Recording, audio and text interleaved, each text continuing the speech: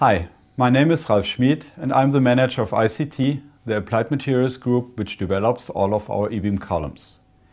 Today I want to introduce you to the basic physics and technology behind different e-beam products used in the semiconductor industry for applications such as metrology, defect inspection and defect review. The first question we need to answer is, why do we need electron beam technology at all? And the simple answer is resolution. Electron beam systems can reach sub-nanometer resolution. This is way superior to light optical systems and meets the requirements of the current and future semiconductor technology nodes. An e-beam column uses a focused beam of electrons to generate an image. The electrons are emitted from a source. Magnetic and electric fields act like light optical lenses or mirrors and shape, focus and deflect the beam. While the electron beam scans the wafer, it interacts with the material and generates signal electrons. These emitted electrons are collected and used to form an image. Algorithms are tailored to the specific application to extract the relevant image information. The quality of an e-beam system can be assessed in three levels. Its imaging capabilities, its performance and its productivity, and I will now go into each one in detail. When the primary electrons penetrate the wafer, they are scattered into an onion-shaped volume. In this scattering process, low-energy electrons, so-called secondary electrons or SE, are generated, which can leave the wafer only from a very thin surface layer. This signal is very sensitive to, surface structures. High-energy electrons, so-called backscattered electrons or BSE, are also generated, which can leave the wafer from a larger volume. Backscattered electrons contain more information from the bulk material and thus from lower layers. The detection system converts the number of electrons to gray levels. The more electrons, the brighter. Secondary electrons are very sensitive to the surface geometry. When the e-beam hits a tilted surface, more secondary electrons can leave the substrate. This is the reason why edges appear brighter in the SEM image. This effect is called edge contrast and is commonly used to image the surface topography. On top of the basic image creation with secondary electrons, there are imaging capabilities and modes which enable many different applications for semiconductor process control. We shall review the key ones. Material contrast is caused by the fact that different materials interact differently with the electron beam, so the emission yield varies by material.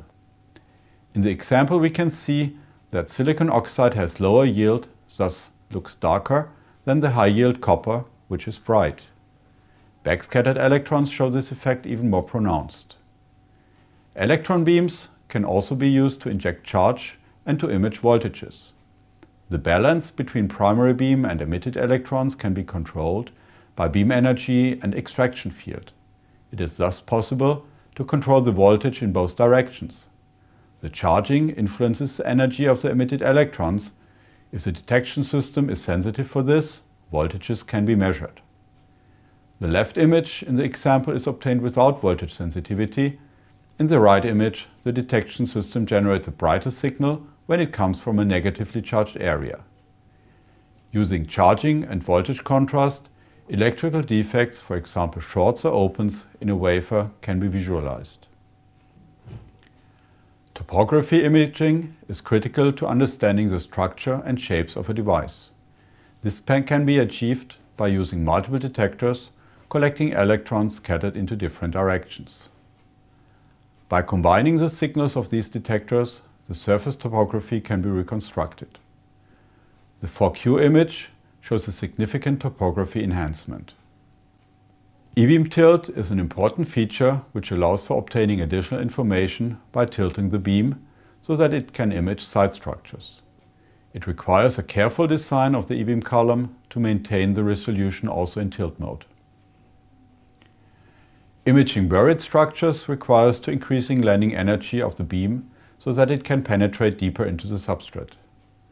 High landing energies, over 10 electron volts, as well as efficient collection of backscattered electrons enable together the imaging of subsurface or underlayer features and see through the higher layers.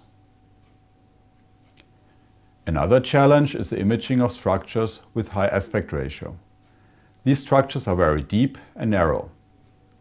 The electron beam has to be aligned and shaped very accurately in order to be able to reach the bottom of a high aspect ratio structure. In combination with an efficient BSE collection, these features can be imaged as shown in the images on the right. For applications involving sensitive films, such as resist, which can be damaged by high landing energies, a good column needs to be able to provide quality imaging at low landing energy as well. Another critical effect is when electrical charge is accumulated on the wafer, causing image distortions. These effects can be avoided using suitable landing energies and extraction fields, as well as optimized timing of beam deflection. The optimized combination of all methods mentioned so far in an advanced e-beam column allows us to generate the best image quality, which is required for applying the algorithms for automatic defect review, CD measurement and inspection. System performance and productivity refer to measurable quantities that can be used to characterize and compare different technologies and tools. Resolution is one of the most important e-beam system performance metrics.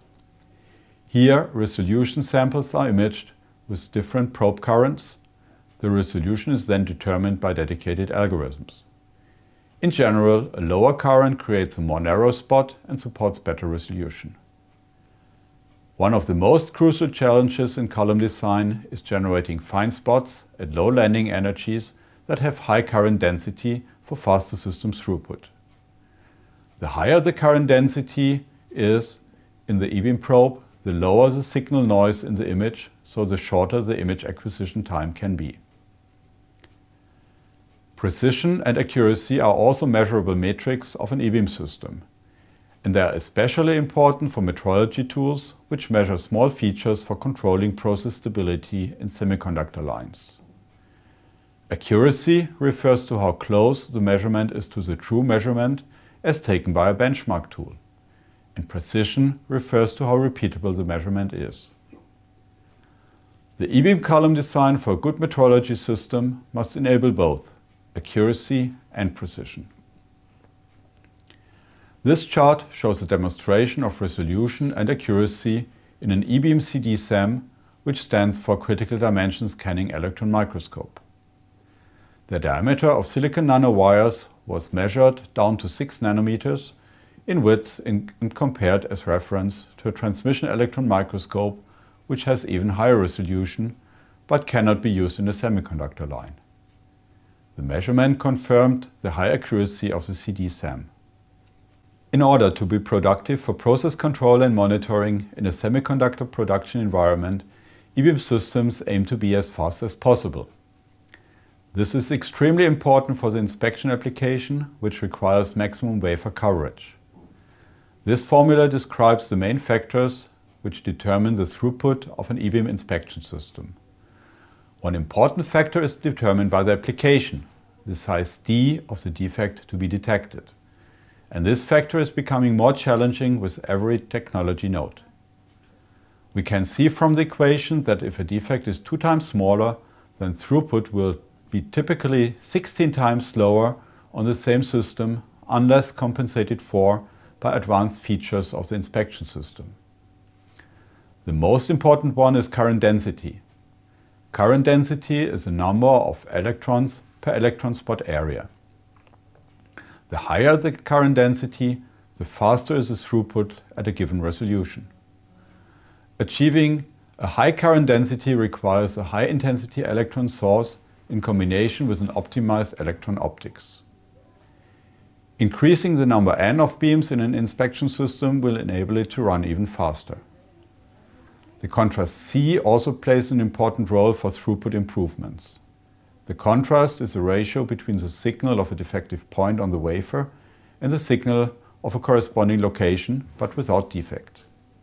Higher contrast enables detection with fewer electrons and results in better throughput because it is possible to scan the e-beam faster. This is why we also focus on optimizing the detection system in our e-beam columns. To summarize, The use of e-beam technologies in semiconductor manufacturing grows continuously as design rules shrink and device architectures become more complex. The goal of any e-beam system is to provide the highest resolution and image quality and versatility at the highest possible throughput. Thank you for watching.